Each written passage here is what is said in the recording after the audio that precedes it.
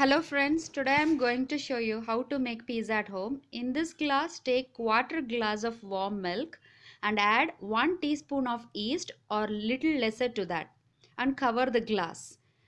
This is the yeast I have taken and let it rest for 5 to 10 minutes.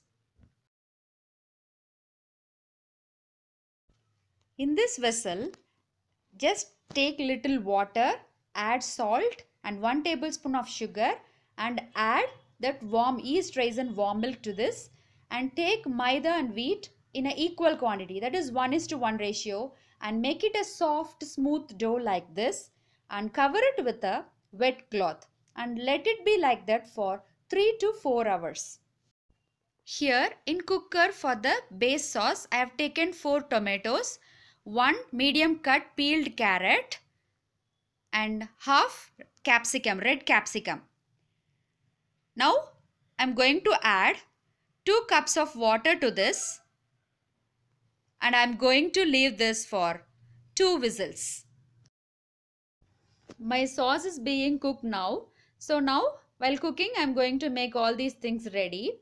It is a 1 medium cut onion, big onion and sliced capsicum either a red or green and a small cut paneer cubes. You can also add the corn or mushroom of your taste that gives you the different taste. And what we have is here Britannia cheese. It is the cheese for pizza. You can buy this or a mozzarella cheese. Usually kids like pizzas with cheese so I bought this. If you don't want you can also avoid this. Once the sauce is cooked I will show you how to apply all these things together. Now the tomato has been cooked. Just peel the tomato skin and add the capsicum and carrot as it is.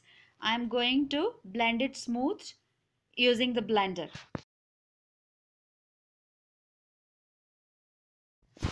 Once the sauce has been grinded to a fine paste, the more water will be there in our sauce.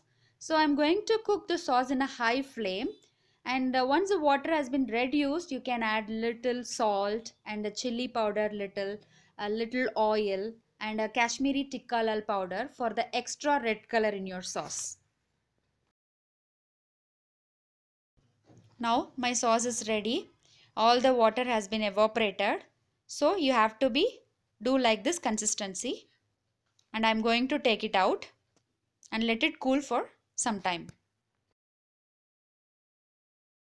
Now I am going to take a small piece of a dough and I am going to roll it just roll like this. You have to roll it a small circle and you have to roll it a thin crust. Using the fork just give it a holes everywhere. That will helps your yeast to raise more. I'm giving holes everywhere. So all the things sauce is ready. Keep it everything ready. And the onions capsicum paneer. And here the cheese i have grated. Using the carrot grater like this you have to do. Now I am applying the sauce to my base. Just I am applying it evenly to everywhere using the spoon. Some people like more sauce to them to the base and some people like less sauce. So usually I prefer more sauce so I am applying a little more also. Just applying little more.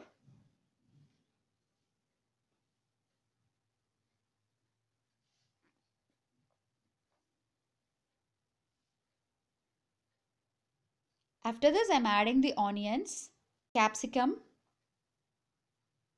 and paneer. You have to add. My paneer, I'm adding it. You have to decorate your pizza like this. And finally, I'm adding the grated cheese. My kids like more cheese. So I usually prefer more cheese actually.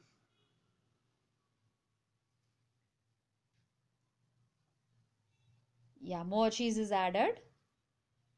Now it is ready to go inside our grill oven. Now my grill oven has been preheated to 5 to 10 minutes. I'm going to keep this inside. Once the dough has been raised i mean your pizza has been raised you can take out. Now this pizza has been taken out from the oven. It looks perfect.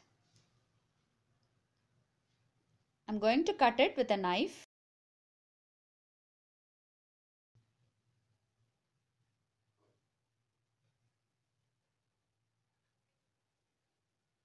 So, I'm adding the red chili flakes to this. You can also do this at home. Just dry roast the red chili and blend it like this using your blender.